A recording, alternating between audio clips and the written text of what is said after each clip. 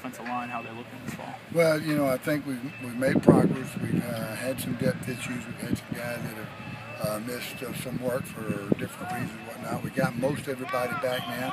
Uh, I think as a, as a group, they're uh, coming on and doing some good things. Obviously, we got a lot to learn still as far as uh, evaluating who's doing what and uh, the different combinations. But I've been pleased with the effort and attitude for the most part. You mentioned the depth. I mean, is it a little bit of a concern? A lot of inexperience. Well, if we had to play today, I think that eight, maybe nine guys that I feel comfortable with, which you know you'd like to have ten, but uh, the total numbers are down a little bit right now.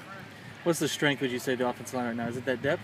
Well, no, I don't think it's the depth. I think we got four or five guys that have played a lot of ball. You know, you got uh, Max, uh, Halpin, and Forrest Lamp, uh, and Cam. Those three guys started for the most part last year, and then I think Brandon Ray's done a nice job at left guard, and uh, still not sure what's going on with the right guard. You got Daryl Williams has, has played there some, and he played a lot last year. So uh, there are some there are some good options.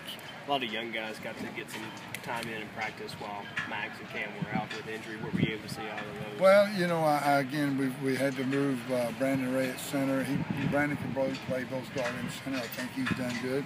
You know, Justin Martinez has come on and done some nice things, and uh, but we still need a couple, for a couple more of them to, to, come on. Second year in this offense, how much does those, how, that help these guys?